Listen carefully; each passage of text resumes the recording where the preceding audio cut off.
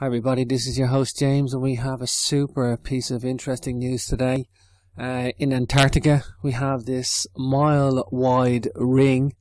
Uh, it's been discovered and we most likely have the source of this mile wide ring uh, as a crater from a meteor that hit in 2004. Several of pieces of information to get through here. Uh, but the mystery of this mile wide ring in Antarctica uh, it's an it's an enormous scar uh, from something the size of a, a house, a meteorite that's about the size of a house, and it's left a crater. Um, and it's done in 2004, previously unknown until the crater was actually discovered, and they're able to track several sources uh, back to uh, two lines of evidence in 2004.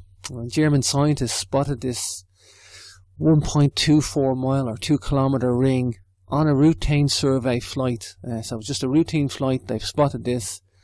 The scar of the broken ice was then found in Antarctica's King Baudouin ice shelf. Uh, scientists believe it was made by something about 10 meters wide, about 30 foot wide meteorite, and that hit in 2004, as I said.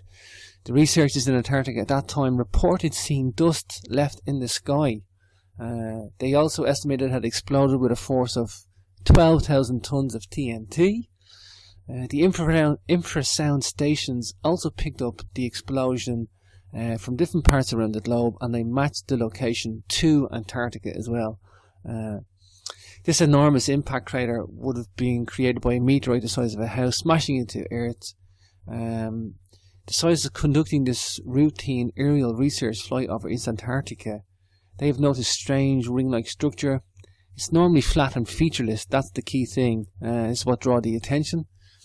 It appears to be a series of broken icebergs about two kilometers wide, leaving this scar, uh, and a few other small circular scars in the ice. You can see this in the photo. Uh, the researchers later found two separate studies reporting that a meteorite fell in the area in 2004. Um, meteorites are incredibly rare, and when they do fall, um, they do get researched quite heavily. So it's bizarre that this has escaped for a number of years. Um, so one reported uh, a series of infrasound, low-frequency sound capable of travelling huge distances below the limit of human hearing, and that was detected on the 2nd of September 2004. Six different detectors around the world detected this infrasound thrown out by the explosion uh, when the meteorite hit, and this allowed scientists to pinpoint it somewhere over East Antarctica. How they're able to do this uh, six different infrasound detectors around the world. They triangulate the position. It's really not uh, easy to do. This is very high tech stuff. Um, but they can be confident uh, that a large event has happened and they can narrow it to hundreds or ten thousands of kilometers.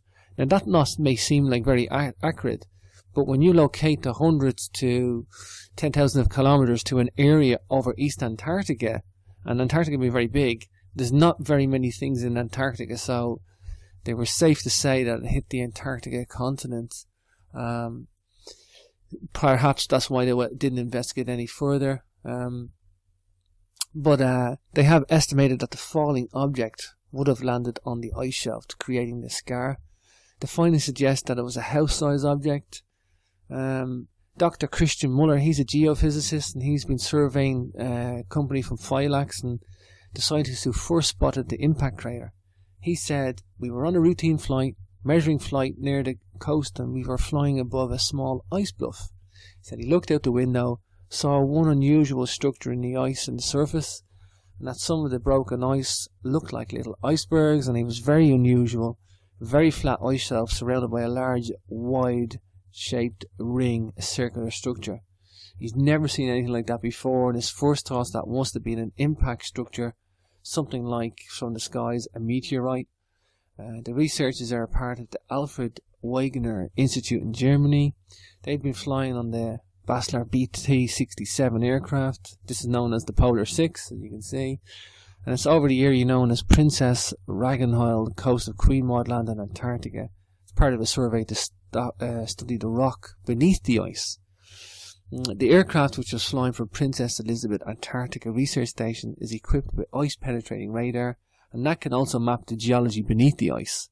Uh, they were also used in magnetometers to measure small disturbances in the magnetic properties of the bedrock underneath the ice. That, that helps determine more about the terrain. Uh, as they flew over this Antarctica coast on 24th of December 2014, Muller spotted the large circular scar on the King Baudouin ice shelf, and that forms over the ocean part. The team then returned to the site on 26 December, taking photographs and video of the site, as well as using the laser to create this topographical map. And they also used radar to help build up an image of the interior on the ice shelf beneath a circular structure in the hope of seeing what lies beneath.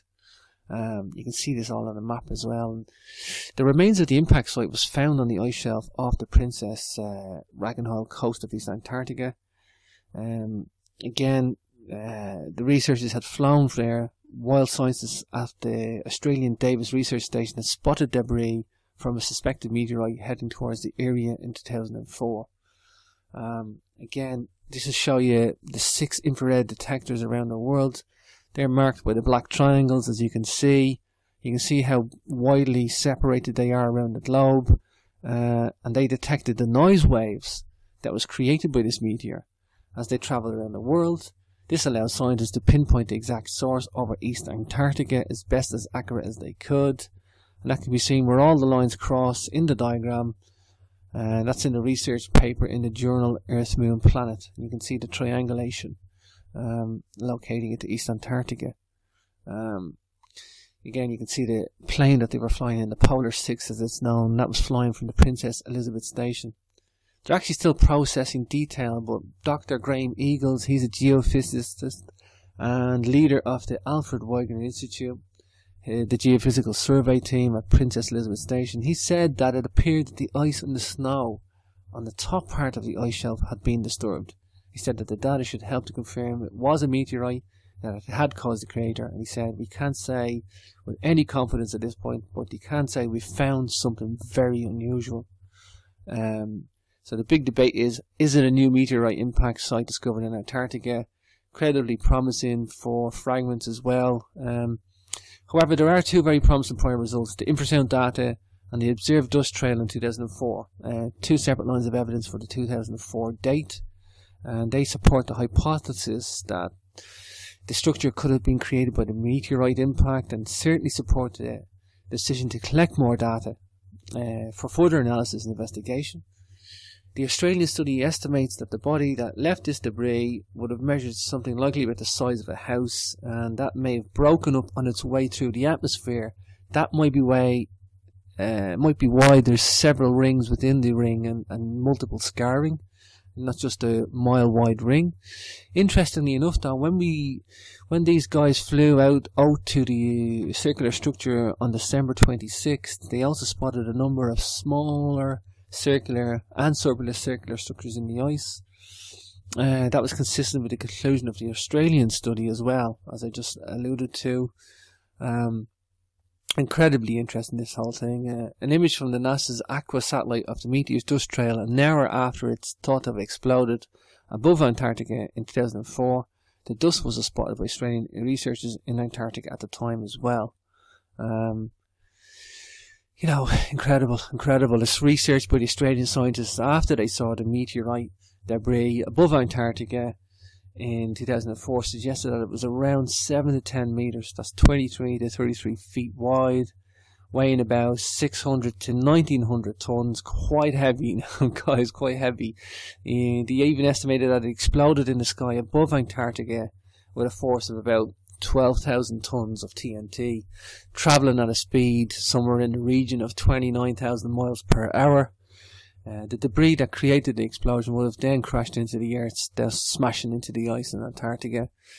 Dr. Eagle said that the team were now considering drilling down into the ice beneath the crater to see if they can find out any more what caused it. Um, hence the purpose of finding out whether this is actually a, a genuine meteorite crater or not. Dr. Eagles then said that if this object did break up before hitting the ice shelf, that perhaps some of these little pieces were not travelling with enough energy to penetrate the ice shelf, and they may have settled on it or within it, and there'd be fragments there somewhere. They may even find evidence of a dust layer in the ice surrounding the crater in about beneath 20 year, 10 years of snow accumulation, something like that. So they can check that in the layers. Um, they definitely think that's worth having a look at, no doubt. Um, so there you go, folks. Fascinating evidence uh, of a crater, uh, of a meteorite crater in 2004. Um, they now have the location for it.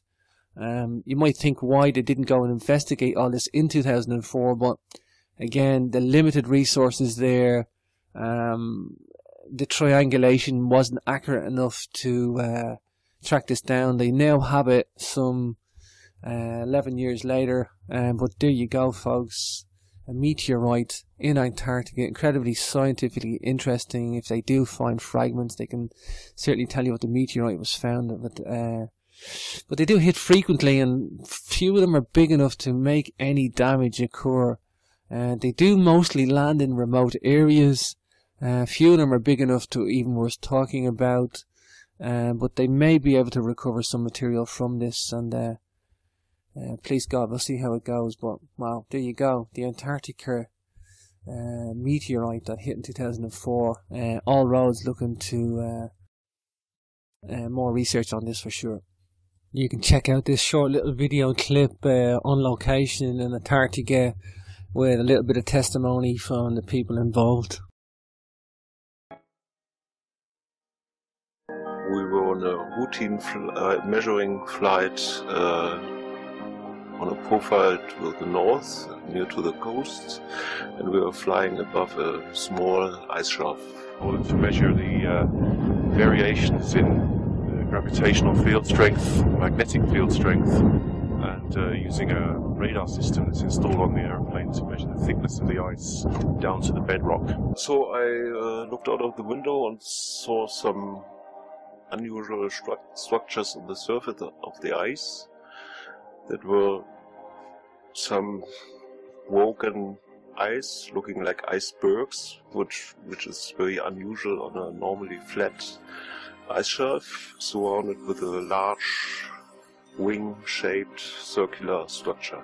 Well, what Christian went uh, about doing after he returned, uh, as well as talking to us about what he'd seen, was to uh, just look into records of uh, infrasound measurements. Christian stumbled on a, a, paper from 2004 in which infrasound had been used to locate uh, an impact event in this region.